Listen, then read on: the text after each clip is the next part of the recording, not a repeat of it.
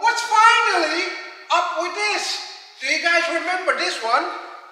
This is here for a while, but we are back on it. Going to finish it up now. I'm going to show you what we did. Here's a little flashback.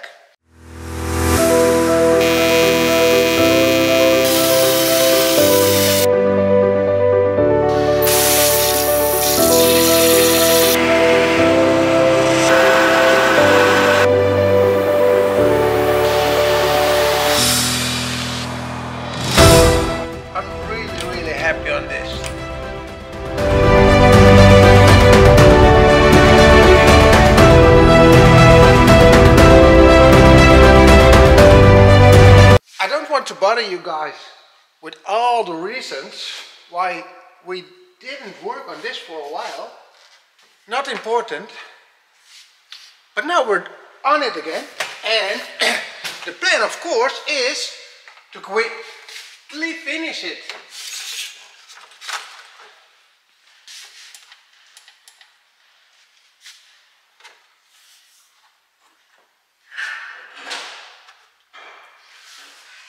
Parts came in. Already did a lot of work, as you've seen in a little flashback. I'll show you some quick details on what we did on the list. What I'm going to do in the following episodes. Really a lot of custom work just to get all the parts I needed to do finished on the engine bay. Then we're off to the brakes. Everything is figured out. Everything is ordered. Probably in the next week all the parts will be in. Hopefully because it's a little bit of the holiday season so things are even slower as normal. But I got a lot of work to do which I will show you guys and girls of course.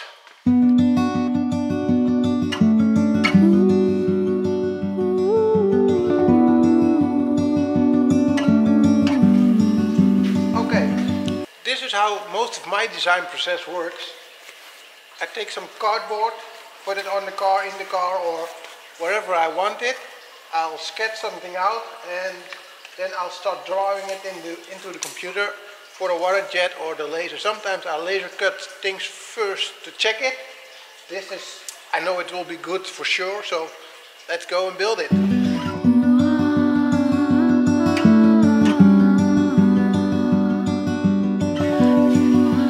Got the cardboard scanned in the computer, loaded in the program so we can make the holes for the oil cooler inserted perfectly so it won't be missed when we cut it.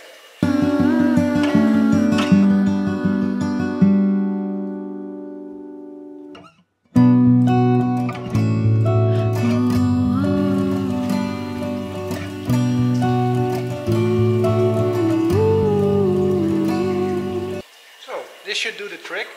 I have drawn the complete sketch in cut.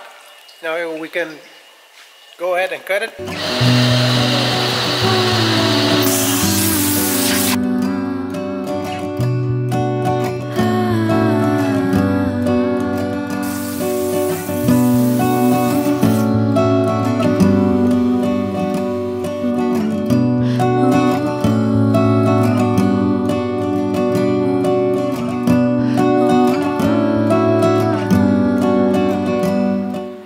This is the end result of the bracket.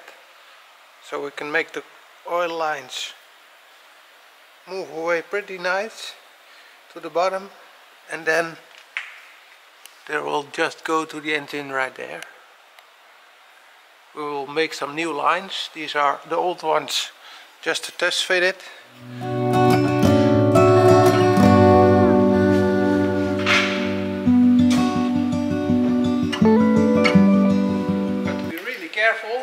This painted stuff. Always makes me a little bit nervous.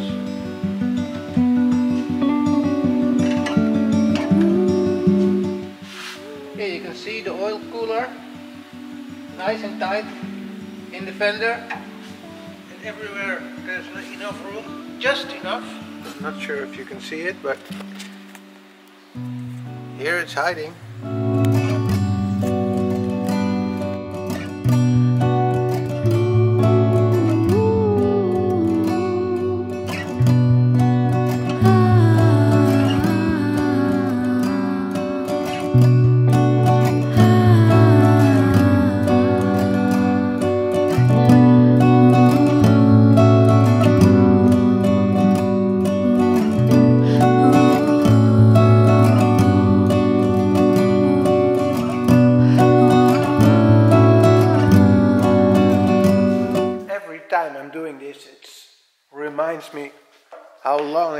Difficult these crazy hoses are. The bigger they are, the more difficult they going in. But it's all for the end result and that is getting those nice hoses on and routing them the way we want them. But as you can see, oh, they are crazy. Always takes a little gym moment. You can see the rubber is all the way to the end.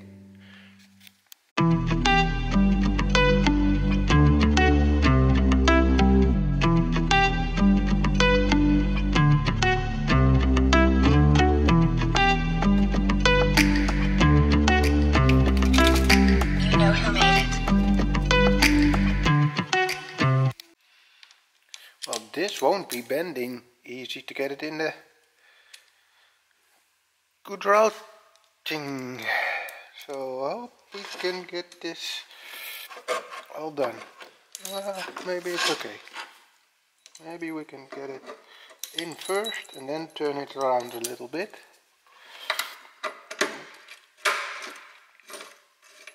Oh, not too bad. Not too bad at all. And nice I want them to go flowing like this. Oh, that's not too bad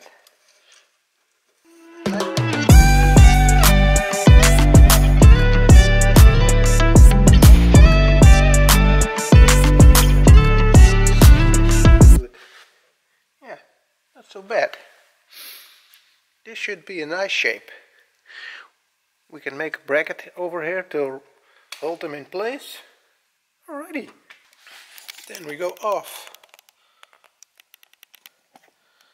to over there. Now, time to get this one the same route. Can go up over here and with that one together.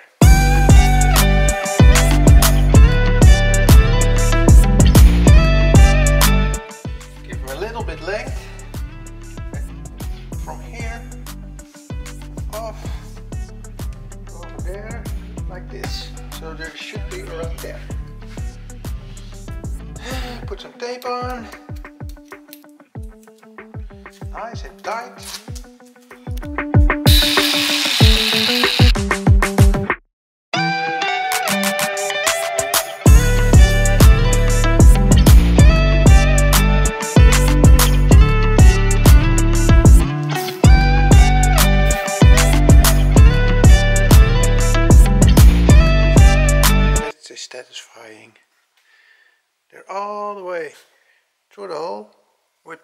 Lots of clearance everywhere. We're going to make some nice brackets later on. But for the test fitting and the length of the lines, this is sitting kind of perfect. Over here you can see all the custom AN fitting work we did. All the oil cooler lines are in. Over there, of course you guys know, is the alternator now.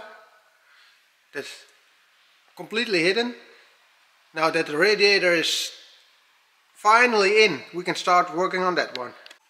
Then over there, we got the radiator with some small welding parts, which we're going to do today, and the list, which is growing again on what we need to do. Okay, one of the things I got to work with is there's still the original heater housing inside the car. So these two tubes will come outside of the engine bay. But those don't look nice. So if you still remember what I did in the oil catch can from carbon fiber, I made some tapered thread inside the catch can. So I was thinking maybe I can do the same on this side so we can put the AN fittings on and the thing then we can do is probably slice a nice aluminum tube over this plastic and then we can coat that black or paint that black. If you slice it on slide connected on the fitting then you got a nice result. And you won't even notice it anymore. That's one of the ideas I get on where I need to work with. The other thing is the heater housing I don't know if you everybody knows it, but you got this ugly threads that's coming inside of the engine bay. So I'm going to see if I can make some metric 6 thread inside the plastics. If that doesn't work, I'll try and glue in some helicoils so we can some heavy threads in there. I probably, it would just be enough room to make metric 6 in there. So let's hit it, get some shit done.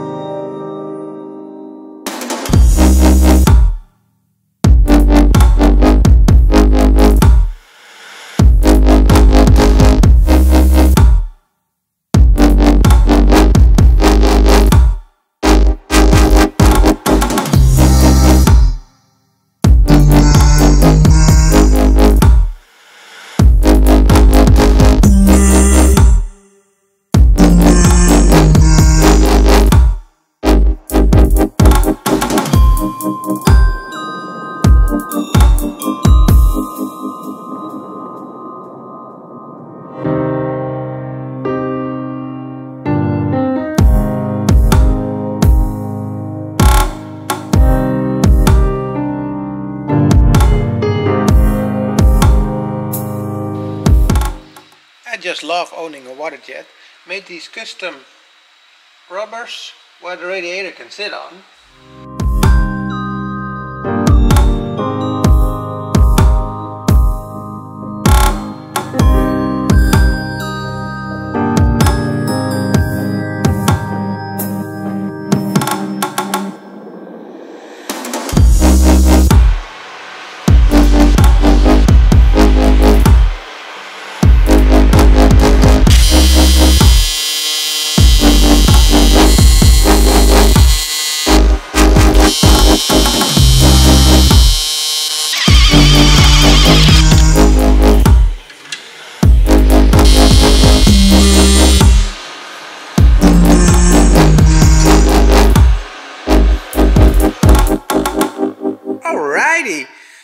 Radiator is in.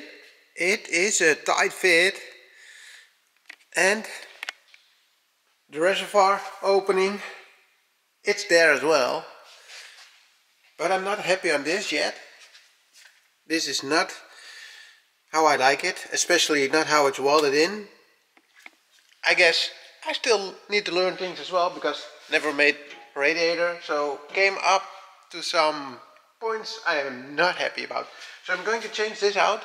The parts arrived today. So tomorrow there needs to be a new upload. So that's not going to work. But in the next episode, going to new make a new filler neck for the radiator. That's one point. The other point. Of there, you can see the radiator of the heating. Oh man, that went good. Yes. The parts arriving Monday. So I can finish this as well. It's all blacked out. And when we got the AN fittings in, it's all black everywhere. And of course, how it's bolted now, yeah, that's how I like it. And it's pretty tight actually. So I probably don't even think we need to put some extra thread in it. So that's going to, to work out pretty good as well. Then of course, the inlet is almost done. All the parts are prepared to be done. Next up is working with the brakes. The next episode you will see finishing up and mounting everything together on the engine bay, tightening of the belt, finishing up the last lines because they're all there. Then the brakes will be on and the project's getting to an end or at least what I need to do. So I'm pretty happy and stoked about that. So join me on the next episode. Thank you for watching. Please subscribe to the channel. I'm getting back into the flow on only building stuff. And there's a new project coming. Yes. And I'm pretty getting pretty booked on Airride installs. So let me know if you want me to film some Airride installs as well. First up, getting this one finished and going to do a lot of work on the Mark III as well. well. Thank you for watching. Like and subscribe and put something in the comments. See you all in the next episode.